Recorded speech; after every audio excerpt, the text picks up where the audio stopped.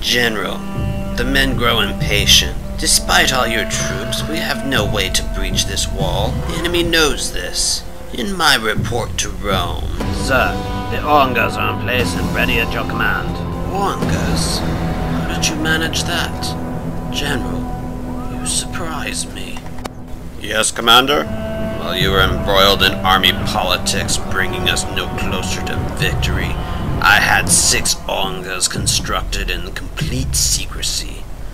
This will be over. It will be over very soon.